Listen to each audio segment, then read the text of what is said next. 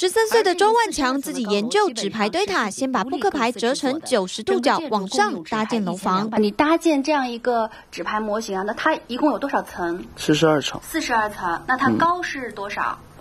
两米十二。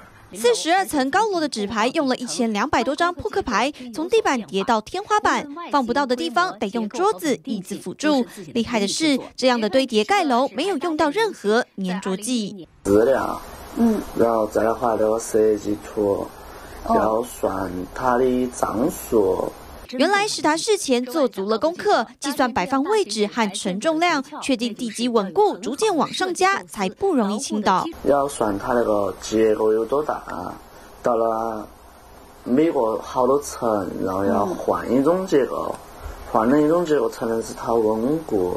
两年前开始对纸牌堆叠感兴趣，当时把约十公斤重的旧扑克牌搬回家，每天至少花一个小时盖楼房。到目前为止盖了八十栋，纸牌达人的技术高超，令人佩服。